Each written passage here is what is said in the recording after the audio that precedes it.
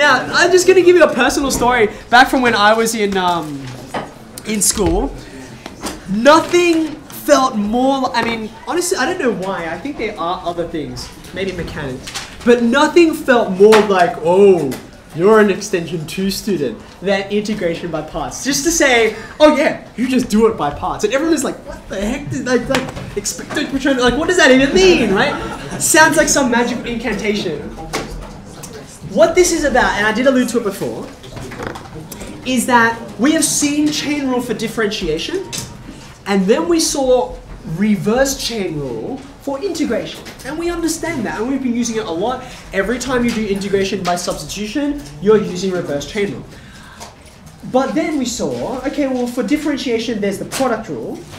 Well, what's kind of the comparison in integration? And it's kind of integration by parts. Integration by parts is kind of the reverse product rule. Now, there's a reason why it's not called the reverse product rule. And when we have a look at, I think I've got one, two, three examples. Um, once we have a look at some examples, you'll see why. There are at least two good reasons why it's not called the reverse product rule. But um, first we need to know what on earth this thing is, okay? So it does begin with the regular product rule. Now if I said to you,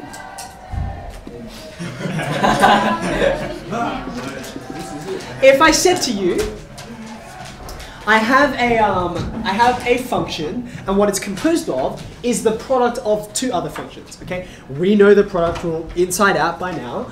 Most of us would write it in this form. At least that's the way I say it, and that's the way I think it. If you've got some sort of comparison, I'm sure it's not that far off. Okay. Now, two things I want to do here. Firstly, over here on the left-hand side, I've written u of x and v of x to remind you that u and v are actually functions. They're not just you know, new variables with different names. Um, and on the right hand side, I've written it in this form because that is the most concise form to write it in. And because in the context of using this, pretty much we're always differentiating with respect to a single variable, so you don't need to worry about which one it is, okay? But that's about to change. So I'm gonna do two things. Number one, I'm gonna write the left hand side as just u and v, because you, you know, you've got it in your mind, yep, these are functions, on the right hand side, I'm going to write u dash and v dash in proper d on dx form, right? So I would write this as v times du on dx. That's what u dash actually means. Plus u times dv on dx. Okay, so this is nothing dramatic.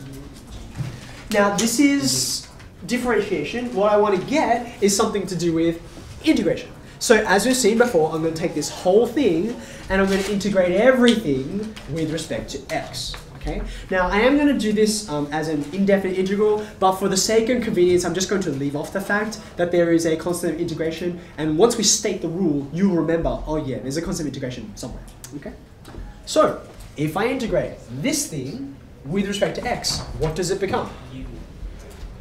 It just returns back to what it was before. And again, bless you, there is kind of a constant integration flying around, but I'm about to have a pair of integrals here, which will also have constants of integration in there, so I'm not going to. It's somewhere, it's baked in there. Okay?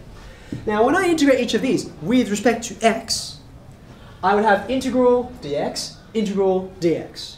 You agree with that? But just as we've seen a hundred times with integration by substitution, the dx's that I add on are going to cancel with these divided by dx's that are already there. Does that make sense? So what this line becomes is the integral of v du plus the integral of u dv. Okay? So now, we're almost there. I've turned a differentiation statement into an integration statement. So I'm going to do one more thing. I'm going to make u dv, the integral of u dv, I should say, I'm going to make it the subject. So what is this going to be equal to? Well, all I need to do is subtract that guy from both sides. Do you agree? So what I actually have would be this. Do you see it? Okay, take that, put a big box around it. This is the definition of integration by parts. Now, what is this? What does it even mean? Okay, the idea is over here if you have some integral and it is a product of one function and another, and the functions that I'm, I'm naming them u and dv on dx, okay? if you can define them as such and work out what all the pieces are over on the right hand side, these are the parts where integration by parts gets its name, then you can take that integral and you can evaluate it.